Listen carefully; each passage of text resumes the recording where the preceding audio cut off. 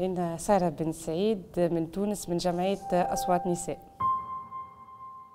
انتبهت لنقطة الاختلاف اللي بيني وبين خويا والفوارق اللي كنا نتعاملوا بها في الدار منذ الطفولة متاعنا يعني ملي كنا صغار في سن لكن يمكن باش نسمع أنا صوتي وباش نتعاملوا زوز بفرد طريقة. هو تمرد باش نقول اللي أنا راني موجودة لهنا. الواقع هذايا لازم ال... هما البنات ما يحسوش بيه وقت اللي يبداو في سن صغير الفوارق هذايا. لكن كي تكبر في سن معين تلقى روحها اللي هي ديما موجودة تحت سلطة معينة يا إما سلطة الأب يا إما سلطة الأخ. وهذا ينجم يعمل لها بلوكاج في حياتها وما يخليهاش تقدم في عديد من المجالات. ويخليها ما تنجمش تمارس الحاجات اللي هي تحبها في حياتها ولا تختار الحاجات اللي هي تحبها. أهم المعوقات العمل للنساء في تونس هي العقلية.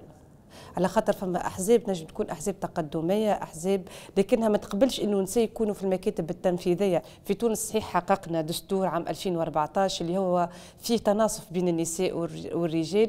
عندنا قوانين منقدمه لكن تقعد في تونس عندنا مشكلة كبيرة هي الفجوة ما بين القوانين.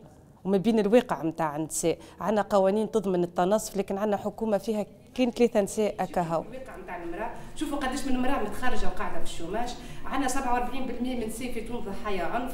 donc الحقيقة ماهيش كيما كيما الواقع كيما ال papier يعني كيما لاحظنا اللي الشباب خاصة النساء ساهموا برشا في الثورة وكانوا في الخطوط الأمامية.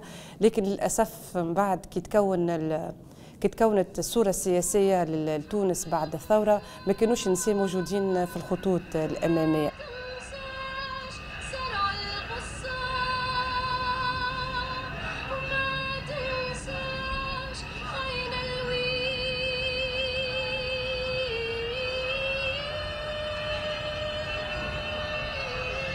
تنطلقت الثورة أنا سمعت بها كنت على الفيسبوك.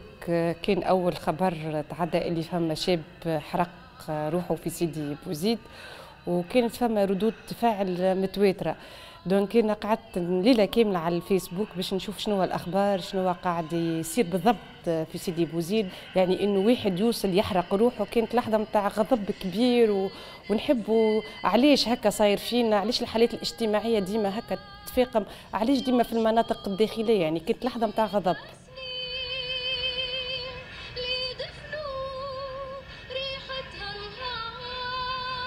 في تونس عام 2011 كان شعار الثورة هو شغل حرية كرامة وطنية التوانسة بعد خمسة سنين تويكا من الثورة ما راوش التغيير ما حسوش التغيير في حياتهم اليومية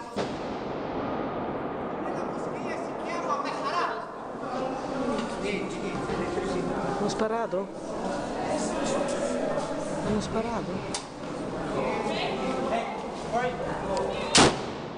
الأحداث اللي صارت في تونس في 2015 الأحداث الإرهابية أنا واحدة من الناس خفت برشا.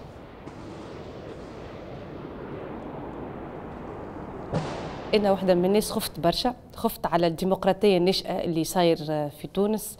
نحس اللي تونس مازالت ماهيش دولة قوية بما فيه الكفاية باش تواجه الإرهاب هذايا. الإرهاب نجموا نواجهوه بحل يعني بإيجاد حلول للمشاكل الاجتماعية اللي موجودة في تونس.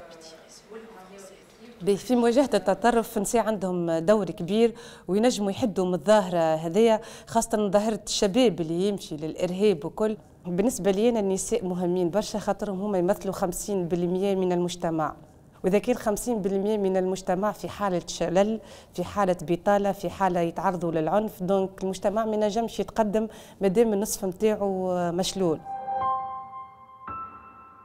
الاشياء اللي إحنا حققناها في برنامج نساء خطوط الأمامية في جمعيه أصوات نساء اللي إحنا ساهمنا بشكل كبير في دفع النساء في المشاركة في الحياة السياسية. إحنا اشتغلنا في برنامج الأكاديمية السياسية من عام 2014 البرنامج هذا يستهدف النساء في الأحزاب السياسية تقسم لزوز مراحل. المرحلة الأولى كان تأهيل النساء وتدريبهم باش يشاركوا في الانتخابات البلدية والمرحلة الثانية كان تدريب الشابات اللي ما بين 18 و 35 سنة وتعزيز قدراتهم باش ينجم يكون عندهم دور أكبر في الأحزاب السياسية.